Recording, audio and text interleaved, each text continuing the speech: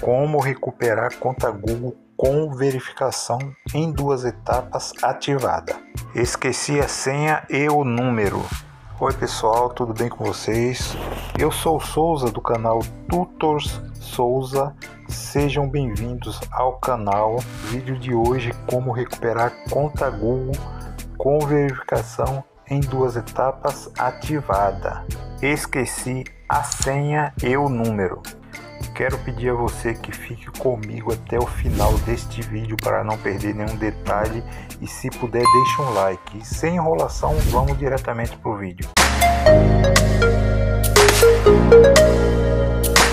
Primeiramente, nós vamos entrar no site onde nós vamos estar fazendo o procedimento de recuperar a conta Google, ok? Você entra nesse site aqui, ó, consumidor gov, certo? É esse primeiro aqui, você clica. Ele dá um certo bug, então aconselho vocês que coloquem aí na versão para computador, ok? Para fazer o cadastro, você vai clicar aqui, ó. Abaixo desse verdinho aqui, ó, tem cadastrar, tá vendo? Eu vou clicar aqui. E aqui você vai inserir as suas informações aí, ok? CPF, nome completo, cidade, tudo, você preenche tudo.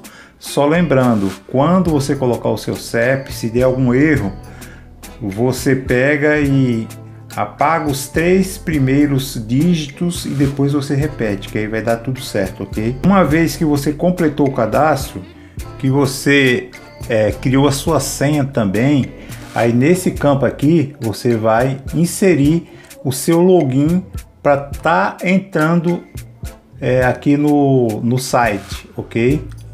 Com a sua conta já criada. Criado esse cadastro vai aparecer desse jeito para você. Tome o cuidado de colocar em um bloco de notas você anotar todos esses dados vai precisar lá na frente, ok? Quando precisar entrar em sua conta para estar tá fazendo o procedimento também, ok? Aí você vai fazer o seguinte, você vai clicar aqui ó, em início. E é aqui onde a gente vai começar. Você vai digitar Google. Olhem que já apareceu aqui, né? Se você colocar a informação que você quer, não, que não seja recuperação de conta do Google, é, e não aparecer isso aqui, ó, que não foi cadastrado ainda. Você vai clicar aqui, ó, registrar reclamação. Se você procurou a empresa, eu acredito que se você está chegando nessa etapa aqui é que você já procurou, então você marca aqui, ó, sim. OK? Nesse próximo espaço, você vai dizer que tentou pela ajuda do Google, porém não deu certo. E se você tiver algum protocolo, você anexa aqui também. Dessa forma que eu coloquei aqui. É, nesse próximo espaço aqui de baixo, você clica nessa setinha e você escolhe ou internet ou você escolhe essa outra opção aqui, ó. Não comprei, contratei. Eu optei internet. Aqui nesse outro campo aqui, onde fala selecione a área de atuação da empresa, você clica nessa setinha aqui, ó. Marque aqui, ó, demais serviços. Em assunto, só tem uma única opção mesmo e você coloca essa opção. Aqui em problema, você clica na setinha também e você rola aqui para baixo e você vai colocar essa aqui, ó. Dificuldade para alterar barra ativar serviço. Você clica aqui, ok? Aqui em código do assinante pode deixar em branco, tá bom? Agora, muita atenção aqui. O site disponibiliza dois campos de descrição aqui. Vou dar um zoom aqui para vocês verem. Ele né, tá falando aqui que é, para garantir sua privacidade e segurança, não insira dados pessoais como RG, CPF, telefone ou ainda ou ainda informações como número de conta, senha, cartão, ok? Nesse primeiro campo, você vai informar apenas o que fez você perder a sua conta. Mas igual tá falando lá em cima, não insira dados aí ainda. Você só vai relatar o que que fez você perder a sua conta, ok?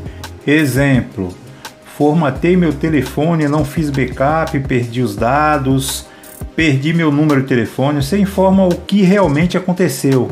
É, sem omitir nada. Nesse segundo campo, você vai informar o que você sabe da sua conta. Você informa se sabe alguma senha né, dessa conta, se sabe os dispositivos que você já se conectou com essa conta. Informe só se você souber, porque você vai ser confrontado né, para não ter distorções de informações, ok? E fica atento também para não colocar informações pessoais, igual, igual tá falando na mensagem acima. Essas informações elas ficam públicas para outros usuários, portanto não coloque dados pessoais neste momento desses campos aí, ok? O Google vai contactar você com questionário fazendo algumas perguntas para você. Nessas respostas aí nesse questionário, você vai falar o que você sabe sobre sua conta, repetindo tudo para bater as informações. E o Google vai pedir um e-mail alternativo. Esse e-mail é um e-mail que você tem acesso, qualquer um, para eles entrarem em contato com você. E você tá vendo é, as respostas por ali, né? E por ali e também pelo site. E completo tudo isso aqui você envia. O Google vai demorar para responder para você de 3 horas a um dia. E quando eles entrarem em contato com você é através de um link aonde você vai ter que responder em um questionário. Aí sim você pode inserir as informações. Ah, neste momento você pode inserir as informações você, eles vão pedir um e-mail para eles entrarem em contato com você, um e-mail que você tem acesso, ok? Qualquer informação que eles perguntarem para você, você tem que fornecer senha, e-mail. Também você pode fornecer o tipo de aparelho que você usava, o modelo do aparelho, os dispositivos que você estava conectado, né? Sempre e após isso você vai clicar no final da página interagir com o fornecedor e assim você vai conseguir aguardar a resposta se você vai conseguir recuperar sua conta ou não. Eles, eles respondem em uns 3 a 4 dias mais ou menos, ok? Então esse aqui foi o vídeo, espero que vocês tenham gostado. Se gostaram, é, compartilhe com mais pessoas para que esse vídeo chegue para bastante gente aí que está precisando também, ok? Deixem like inscreva-se no canal e ative o sininho de notificações e até o próximo vídeo. Fui! Valeu!